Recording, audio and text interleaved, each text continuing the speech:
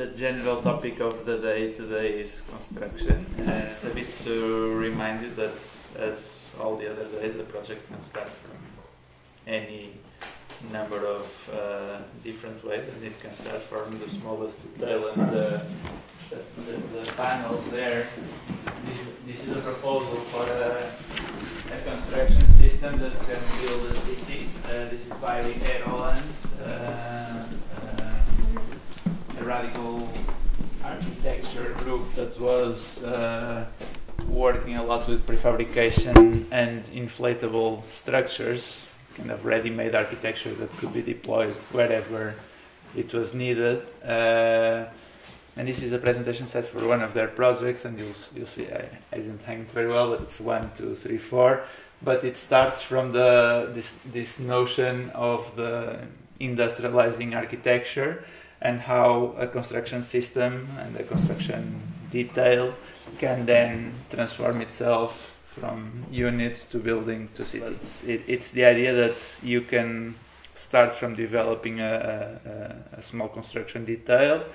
In Switzerland, there are many examples. Fritz Haller, with his small spherical node for furniture, that he applied also as a concept to his architecture. Uh, Heinz Isler, that created this language based on, on uh, thin shell structural domes that he that allowed him to make uh, simple drawings like that for for building. Uh, that's a, that's an actual built uh, structure just next to the castle in Bellinzona. so right next to the to the lower access to, to the castle sits this Migros supermarket, and you see the simple drawings that he can get away with for designing a building because he already had a team of builders and the construction system refined to to build whatever whatever building was commissioned. He mostly built uh, um, large halls that could be supermarkets, tennis pavilions, uh, swimming pools. There's dozens of them around Switzerland. All of them more or less following the same principles, but all of them very very interesting. So there's there's this idea that you can start from a highly detailed construction system and then uh, turn it into whichever building you you want and uh, the same detail can be adapted to, to many many different building types. Uh, At the end of this uh, row of drawings just there, uh, it's uh, Louis Sullivan in his office, uh, Adler and Sullivan. So this is the architect for whom Frank Lloyd Wright worked in the beginning of his career, and it's the beginning of steel for cast iron systems for creating industrial buildings. So there's a, a set of nine plans, uh, sorry, eight plans on facade, but basically they are the same. He creates a standard width for the, the nave of a factory building, and here's a, a, a piece of paper with the details of the joinery of the the post and beam system and all the skylights in the patio, and with these 10 pieces of paper Actually, with these two pieces of paper, with these two pieces of paper, he could build the building. Because there's a construction system that has all the all the all the attachment problems more or less developed, uh, and this is a plan that because there's a standard with the the the detailing is is uh, standardized. So with these two pieces, you can you can advance the construction phase. So there's a there's this idea that. Uh, you, you can uh, really uh, create a, a, a, building language that can be adapted to multiple uh, problems. In, in Netherlands, as in Sullivan, as in Isler, as in... This is Nicholas Grimshaw, one of the one of this generation of high-tech architects from, from the UK, Foster, Rogers, all of these people that you've heard about and they're turning on all the layers of of the of the design that make the, the space completely opaque. You don't even really know what this is uh, and why it's, it's designed like that. I think they, they, they deliberately made it to look absurd but if they chose a different view and they turned on only the layers of a certain level on, that was a drawing that could be used to to work. Yeah. And if you send the, the, the BIM model, then there's some compliance uh, architect that will make sure that all the all the right things are inserted, all the fire control systems, air conditioning, uh, water drainage, everything is is in its right place and nothing is conflicting. Because uh, on that project I was talking about, we, we had to send the, the, the BIM model to, to, to the fire inspector because there were several code violations for which we had to have exceptions. Mm. And he needed to see the, the entire system to see, for instance, if the water and the power lines were not too close, mm. uh, because we couldn't have um, uh, breaks in the building that would suppress the progression of a fire. So we we had to have compensation measures for the for the, the, the code violations that we were that we were doing. But uh, this is the the absurd, and, and this is trying to think in a more logical way when less. Uh, constraints ah, are, are in order. So this is James Gowan, and he, he's applying color to explain to this is for publication, but this could also be a, a, drawing for the builder to understand the several building phases or the several building arts that were coming together. So, so blue is steel, red is brick, uh, green is concrete, and yellow is wood. So you can uh, adjust the phasing of the of the construction, uh, knowing uh, more or less who is doing what at which phase through a drawing like that. Bucky Fuller. So these are some of the patent applications for building systems that he was uh, preparing uh, throughout his life. Uh, I don't know how many patents he had at, at the end, but uh, many, many uh, patents. So, so, this is a framework structure for buildings and the like. So uh, it's a structural system for whatever. And then he, he details structural nodes, how they work together, how the pieces interact, and then he shows application possibilities in building spheres or in building uh, post structures. So the same building detail can work in a, an infinite number of, of ways. It can be uh, a mass, it can be just the, the frame. So it's uh, working as zero land from, from the detail to its application in different building contexts. In, in, a, in a patent, he, he, he tells the, the, the, the, the story of what he's creating and then he makes the claim for originality of his system, why his system is unique and can be patented. So these are interesting also because he's explaining what's in this is yes. absolutely original mm-hmm. and um, unlike any other thing that is that has been patented in the past. And only because of this he can have uh, the, the patent granted. Because if it was similar or, or substantially similar to, to something that already existed in the market, it could be challenged or it could be denied. So he, he outlines what in his principle is, is uh, original and should be granted exclusive rights. And then he could market this for uh, whatever type of building he wanted. So you, you have again this idea of starting from, from, a, from, a, from a detail and, and uh, opening up a, an array of buildings that they can uh, be used to, to develop this is a patent by Paxton, who ah. was the designer of the Crystal Palace mm-hmm. for the 19, 1851 exhibition. Mm. Um, and what's interesting about it is this is the key pattern for the construction of the building. It's not really about the construction, it's about getting water off a glass roof.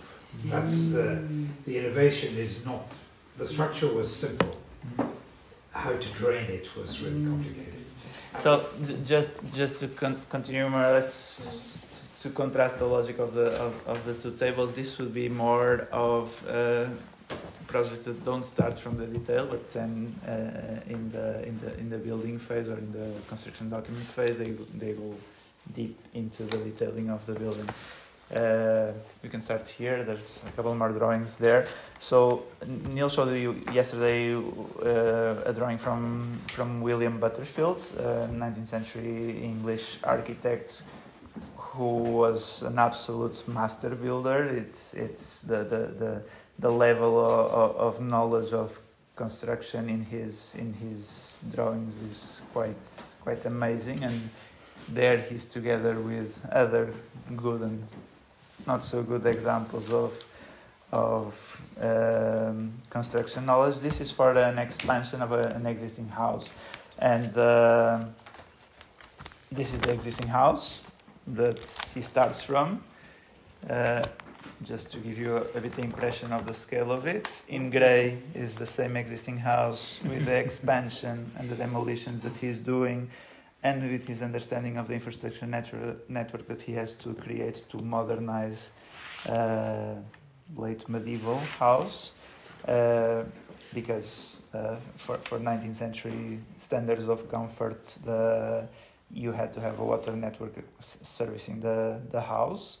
Uh, and then you have in the wall and in the drawings here several details for some of the special elements that he's creating the library, the, the, um, the, the winter garden, the, all the, the, the special rooms that were connected with, uh, with the way of living in, the, in the 19th century. Uh, um, two, two things, sorry, Absolutely, but yeah. they're funny, I think, always about this scheme, which is the house is very close here. It's a, um, an hour away. Um, the, he was the um, um, the head of law in the government, so he was a very senior sort of. Very proud of his knowledge. This was this is this tiny um, 18th century house, which was very important for him because in a room here on the top, second, first floor, in the 60, late 1630s, uh, Cromwell and Fairfax, the two key figures in the Civil War in England, had planned the revolution. Mm-hmm. So, it, it, at all costs, he wanted to preserve the earlier house within this complex. The library that he built for himself was the largest room in a private house in the south of England, so uh, mm. I think west of Salisbury, the largest room in the private house. Mm. Anyway, sorry, was that digression? So, the, so you see how the, the, the, water network services all the, the, the bathrooms and kitchen spaces and all of the all of the, the new spaces that he's creating around, and then you have details for uh, several of the new additions that he's creating for the house. This is the aviary connected to the to the library that he extensively details plan section, uh, and sometimes in the same page, uh, building details of the construction system that is to to to be used in, in building it, and uh, you'll see better in the in the drawings that are in the in the wall.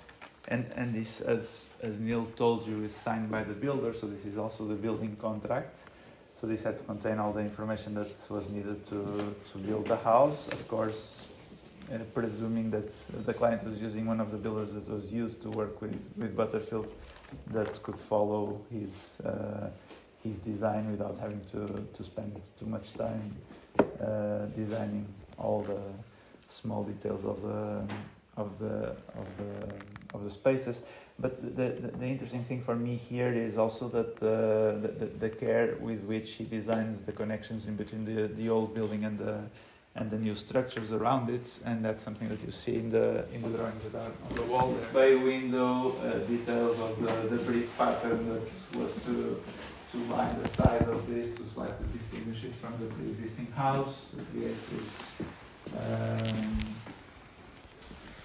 common language in, the, in between the, the, the, new additions to the house and the, but maintain the perception of the historical house that he was adding to. Same for uh, Viollet-le-Duc in the yeah in the beams that he is designing for an addition to the Chateau de Pierre.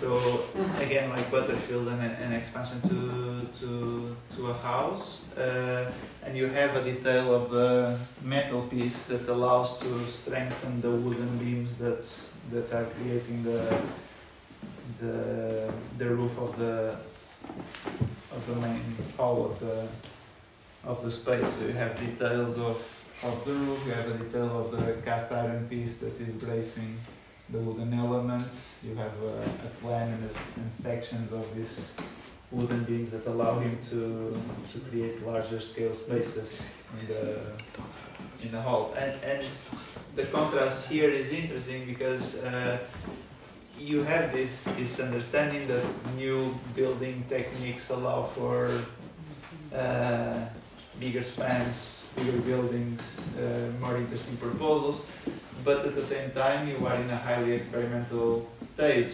So for someone who has a profound knowledge of construction, you can see the degree of certainty that they can apply to their to their solutions. To someone who doesn't, you see the, the immense amount of reinforcing that they are trying to to install that is far beyond what is needed. Yeah, surely you won't need a strengthening metal piece in every. Uh, I mean, this is after all, uh, he's reproducing directly a building type, which is a Roman or Greek temple. So you don't actually, you could have built it with stone. Yeah. With, do you know what I Yeah. it's a disaster. This drawing. Yeah. but it's the difference between someone who is deeply embedded in the construction culture of his time and someone who is just who has just read about a, constru- a new construction to be system. fair, it's worth perhaps also saying about the Barry drawing for the Houses of Parliament that so this is the intermediate generation. This is the fifties. Mhm.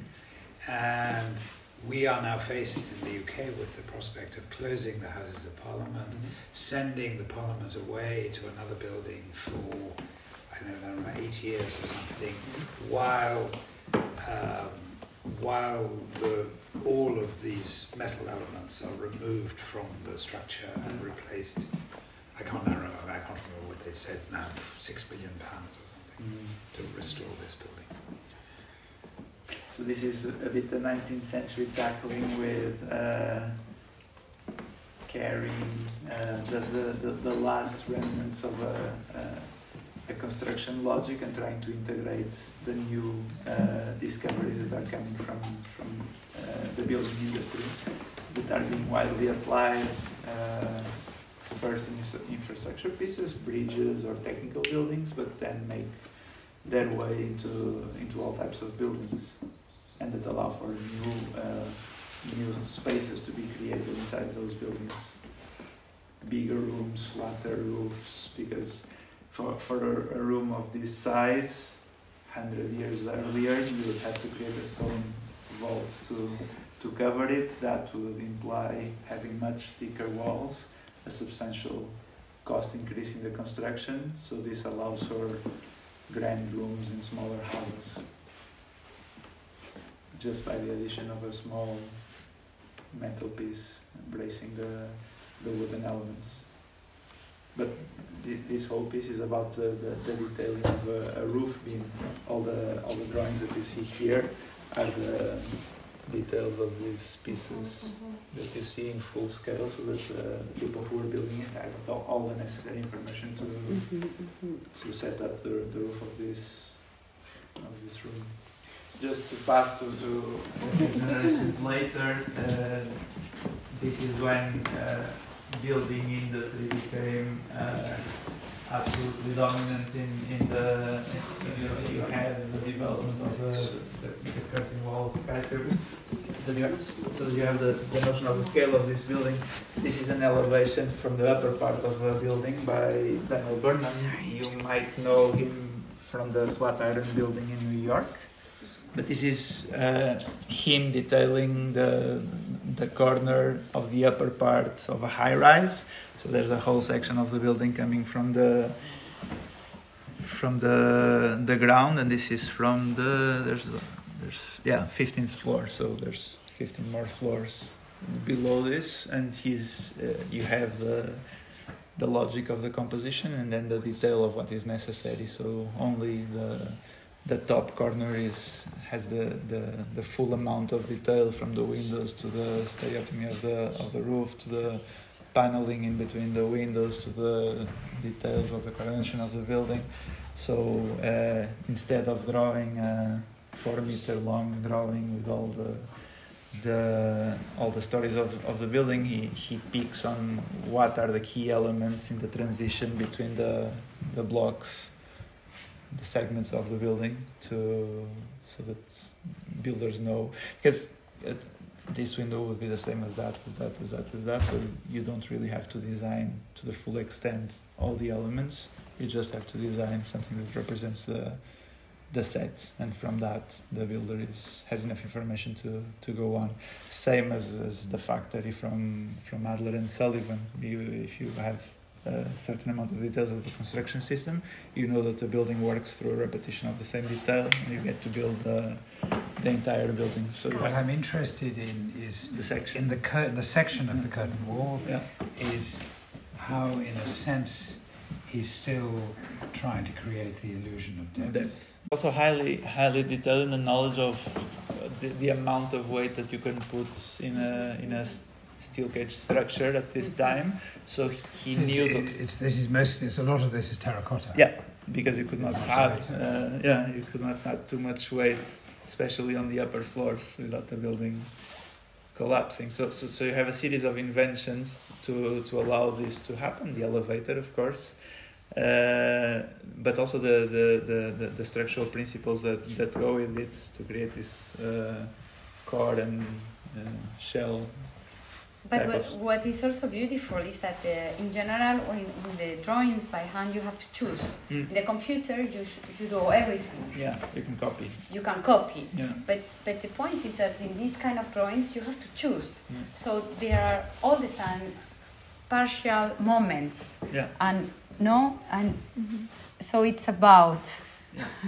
the size of the paper, the size of what you want to see, and what you want to show. But also by, by, by choosing to detail only a part of it, you draw the eye to what is important to know. But there's a coordination element, there's a, an end module, and then there's a module that is repeated. So if you would design with the same degree of development, no, all this is super the yeah, you you wouldn't immediately know that there's something to be seen here, something to be seen mm. there, and something to be seen there, and the rest is It's the already same. detailed in this section. I'm sure also there was an office manager going, no, no, Yeah. no, don't bother to draw Yes, that. Yeah. yes, yes.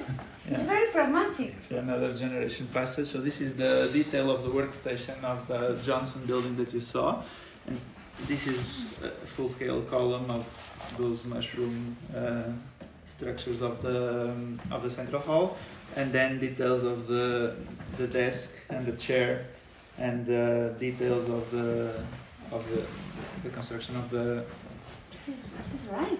yeah, this is from the right. This is So- nuestro amigo. yeah, so this is Oh the, my the, the desk for the for the workstation of the the Johnson uh, building in the central hall.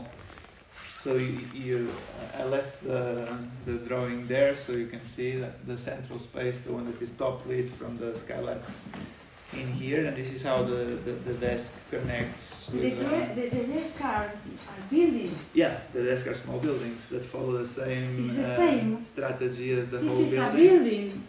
And then for this you'll have details for the lamps, you have you have details for The Yeah. ashtrays. yeah, ashtrays, yeah, of course.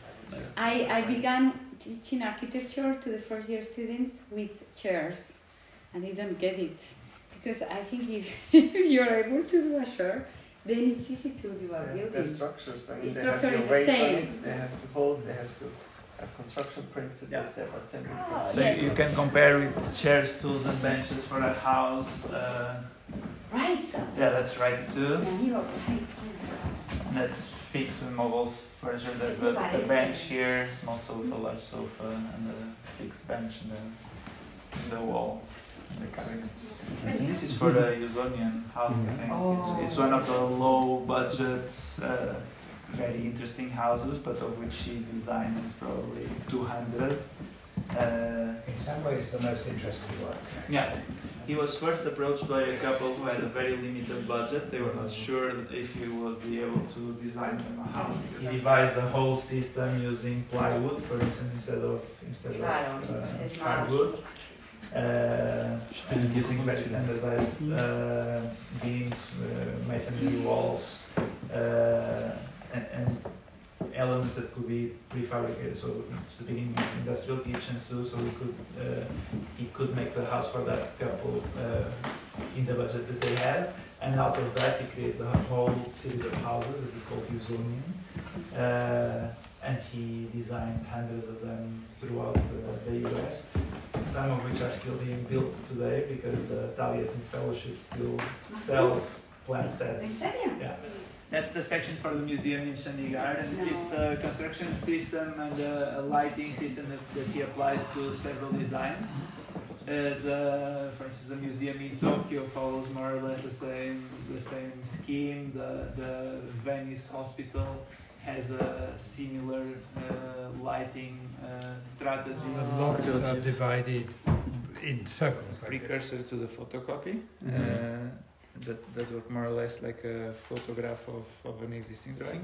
This is a wonderful early drawing. It was a drawing that Wright had uh, framed, This is I'm sorry. framed when he was trying to get the Imperial Hotel commission. He had it framed and he took it to Tokyo with him or- as a Japanese scroll. So we have the scroll ends. It's rather wonderful. And then, more amusing is if you go just outside here, um, there's a concrete fragment on the on the front of the building, which is one of these. This is, this is this strange building in the center of Chicago uh, called Midway Gardens, which was a kind of pleasure garden, strange place for concerts and entertaining. It lasted 15 years only, and then it was pulled down in the 30s. But here he's visualizing these towers on this, this structure, which sit at the corners of the building from the street. This is Studio Mumbai. These are these uh, one-to-one drawings that they sent to site. Yeah, so that's the, the proposal of a banking office for a, for a A mí me rural uh, esta, a ti context, uh, Tienes razón, a, de a verdad. perpetual savings and bank, uh, perpetual savings and loan bank in South Dakota, and it has a, a rural facade and a urban facade, so classical language and uh, the language of a, an agricultural shed mixing together and creating. And the idea uh, is that you deposit your money in the front Ah! and you borrow it from the behind. it's a wonderful idea. Dun, And dun, these dun, dun. These were to be built in the in the prairie at intersections of the roads. Es increíble. It's a very funny joke. And, and this is one of the many, many. Uh, they, they work for this um, department store company, Best, and they did uh, about 30 versions of the of shop fronts for them. So this is one where there's a ruined brick structure, uh, slightly falling apart. There's uh, there, there's many that were built and none that survived that I know of but they are, they are all placed on the on the facade of the depart of, of the generic department store in suburban America. Uh, they were employed by, by the company to kind of create an, a, a different shop front for every for every shop to to attract the clients. So, so in a way, a destination. Yeah, a feature on the road, like uh, like you would read in in Robert Venturi's uh, books. So this is someone who's in the same context, working with, in the same cultural framework and creating a playing with the the, the shop front idea. So if you yeah if you if you, if you take on on Venturi and you read his his his essay on the duck and the shed and this idea of how signs work for for someone that is driving along the road. Um, this is a, a, an interesting result to to think of. Was the, the engineering uh, company was challenging them, saying that the, the geometry of the of the shelves of the opera house was too complex to to to calculate and to detail. And he produces this demonstration piece to say that they know they are very very simple spherical uh, surfaces and that you can uh, take them all from the surface of a single sphere and build uh, the, the geometry of the shells. And from this explanation, they could prove to Arup that it was easy to, to, to think of and build, and, and the project went forward. In a way, it's, a, it's not an example where the architect worked with the engineer from the beginning, but it was much more the architect who designed the form. Yeah.